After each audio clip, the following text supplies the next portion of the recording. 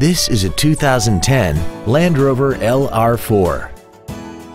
This SUV has an automatic transmission, a 5.0-liter V8, and all-wheel drive.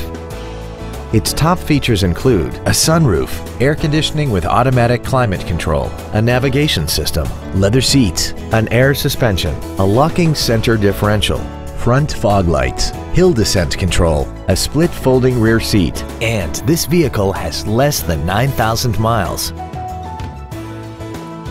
We invite you to contact us today to learn more about this vehicle.